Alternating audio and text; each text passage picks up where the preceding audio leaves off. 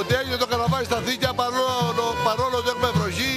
Οι συνθήκες είναι σκληρές, ακραίες. Οι αδικιώτες είναι παρόντες. Η νεολαία των αδικίων.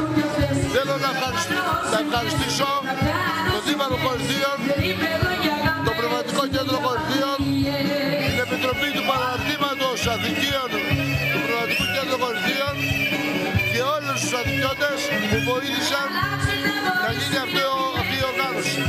Επίσης θέλω να ευχαριστήσω τον Αθηνικό Σύλλογο Τελεάτης, ο οποίος βοήθησε και αυτό με ένα αρμά και συμμετέχει και την υπόσχεση που έχουμε δώσει με τον Δήμαρχο ότι μέσα στο καλοκαίρι θα γίνει ο χρονοτάπητας είναι αλήθεια.